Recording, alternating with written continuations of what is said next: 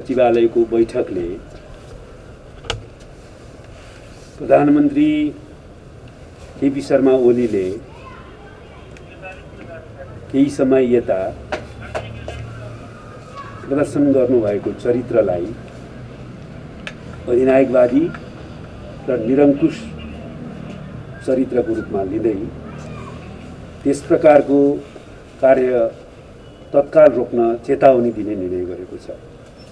मुख्यत चारजना पूर्व प्रधान न्यायाधीशहरू मिनबहादुर रायमाझी अनुप शर्मा कल्याण श्रेष्ठ र सुशीला कार्कीले देश जनता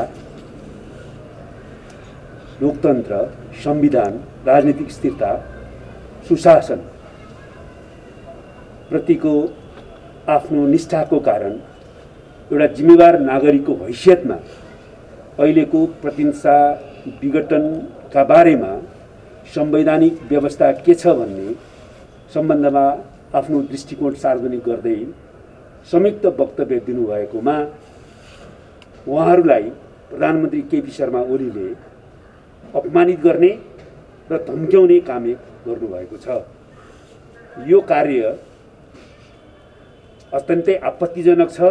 र हाम्रो पार्टीको आजको बैठकले यसको प्रतिवाद गर्दै कडा शब्दमा शब्दमा भर्सना गरेको छ। हामी उहाँहरू र देशभरिका नागरिक समाजका अगुवा बुद्धिजीवी प्राध्यापक इन्जिनियर चिकित्सक पत्रकार लेखक कलाकार सांस्कृतिक कर्मी र विभिन्न पक्ष तह र तब्काका नागरिकहरूले अहिलेको असंवैधानिक अलोकतान्त्रिक एवं प्रतिकामी संविधानकै प्रतिनिधिसभा विघटनको कार्यका बारेमा आफ्ना विचार प्रकट गरिरहेका छन्। सबै नागरिकहरूको अभिव्यक्ति स्वतन्त्रता र संवैधानिक अधिकारको सम्मान गरिनुपर्छ। रक्षा गरिनुपर्दछ र हामी त्यस प्रकारको संवैधानिक अधिकार र अभिव्यक्ति स्वतन्त्रताको रक्षा गर्न प्रतिबद्ध छौँ र सम्पूर्ण नागरिक समाजलाई पार्टीलाई र सबै सचेत प्रबुद्ध व्यक्तिहरूलाई यस प्रकारको हमलाको विरुद्ध एकजुट हुन र संवैधानिक अधिकार र अभिव्यक्ति स्वतन्त्रताको रक्षा गर्न आह्वान पनि गर्ने निर्णय गरेको छ। त्यसै गरी हाम्रो पार्टीले राज्यको साधन स्रोतद्वारा सञ्चालित सरकारी सञ्चार माध्यमहरू एउटा कुनै गुटको पर्चा जस्तो काम गरिरहेकोमा त्यसको तीव्र भर्सना गरेको छ र राज्यको साधन स्रोतको दुरुपयोग गर्दै यस प्रकारको गुटलाई सेवा गर्ने काम ती सरकार यी सञ्चार माध्यमहरूले बन्द गरोस् भन्ने माग पनि गरेको छ। साथै पार्टीले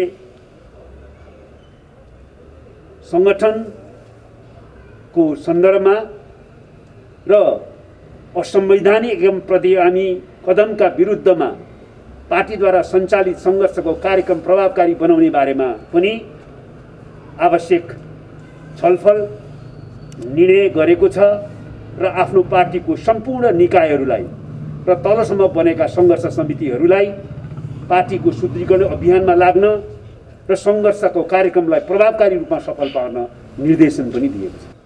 प्रधानमन्त्री केपी शर्मा ओलीद्वारा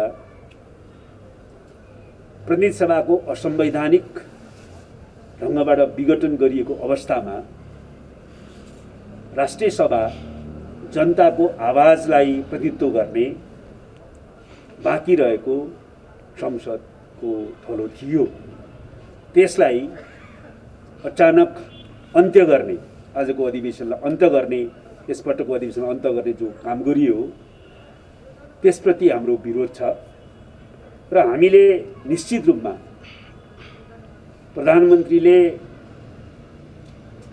यस प्रकारको असंवैधानिक अलोकतान्त्रिक र प्रतिगामी कदम चालिसकेपछिको पहिलो उहाँको सम्बोधनलाई अस्वीकार गर्ने कदमका रूपमा आज बैठकमा सहभागी नभएका हौँ। अधिवेशनको बैठकमा आज सहभागी नभएका हौँ। जहाँसम्म हाम्रा पार्टीको अध्यक्ष पूर्व प्रधानमन्त्री कमरेड पुष्पकमल दाहाल प्रचण्डको भारत भ्रमणको कुरा छ। त्यो नितान्त आफ्नो परिवारलाई स्वास्थ्य उपचार गराउने सिलसिलामा भएको भ्रमण हो। उहाँको कुनै पनि राजनीतिक भेटघाट राजनीतिक वार्ता भएन। ताले आफूले बलिदानीपूर्ण सङ्घर्ष गरेर ल्याएको राजनीतिक परिवर्तन त्यसलाई संस्थागत गरेको संविधान र लोकतन्त्रको रक्षा गर्न कुनै कसर बाँकी राख्ने छैनन्। त्यसकारणले सङ्घर्षको सफलतामा कसैले शङ्का गर्नु पर्दैन। सङ्घर्षको सफलता सुनिश्चित छ। जहाँसम्म नेपाली काङ्ग्रेसको कुरा हो नेपाली काङ्ग्रेसले अहिलेको प्रतिनिधि सभा विघटनको कदमलाई असंवैधानिक र अलोकतान्त्रिक भनेको छ।